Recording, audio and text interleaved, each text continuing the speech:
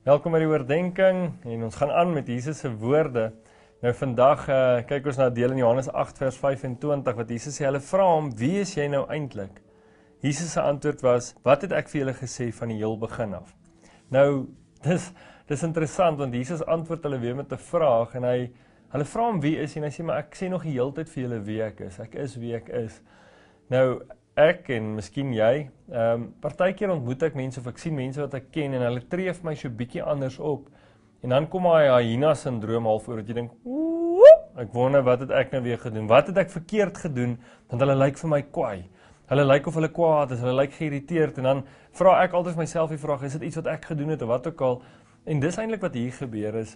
Mense dink Jesus en ek en jy ook Ons dink sy gevoelens teenoor ons hang af van ons optredes. Ons dink ons manipuleer Jesus se gevoelens en as ek nou vandag stout was, dan is Jesus kwaad en hartseer. As ek soet was, dan is Jesus bly en gelukkig. Maar Jesus het ons van die begin af liefgehad. God het ons van die begin af liefgehad. Ek en jy kan nie God se emosie teenoor ons manipuleer of beïnvloed nie. God het ons lief en hy het ons so liefgehad dat hy sy enigste seun gestuur het. En en dis so bevrydend en so lekker om te weet maar God het my lief. Ek Ek hoef nie te wonder is God oukei okay met my want o, oh, ek het gister weer sonde gedoen, is hy nou kwaad vir my nie? God wil dit nie vir jou hê nie, maar hy's lief vir jou. Hy wil nie hê jy moet daai sonde doen nie, maar dit beteken nie hy's nie meer lief vir jou nie. En dis iets wat ek en jy kan leer hierdie jaar en vandag wat Jesus sê maar ek is wie ek is. Ek het nie verander nie. Van die begin af, dis wie ek was. Ek was gister dieselfde, ek vandag dieselfde en ek's môre dieselfde. My en jou optredes beïnvloed nie hoe God oor ons voel nie. God is lief vir ons. En dis wat jy moet hoor vandag en dis wat ek moet weet en ons moet dit begin glo dat en wanneer ons dit weet en glo, dan gaan ek anders optree. Dan gaan ek sê maar weet jy wat ek wil nie iemand wat vir my lief is seermaak nie.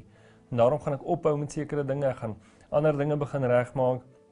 Ek probeer nie hulle gevoelens manipuleer nie.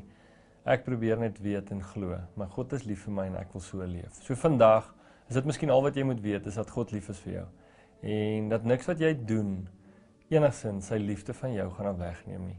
En daarom dan daarom raak ek opgewonde om beter lewe te leef en 'n ander lewe te leef want ek wil nie hom teleurstel nie.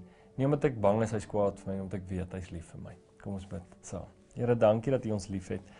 Dankie dat ons besef maar U liefde is nog altyd dieselfde van gister, vandag en môre en vandag heen af toe U seun gestuur het want U het ons so lief gehad. Here, dit was nog altyd die plan om in 'n liefdevolle verhouding met ons die mense om te staan en daarom het U U seun gestuur om hierdie verhouding te kom herstel.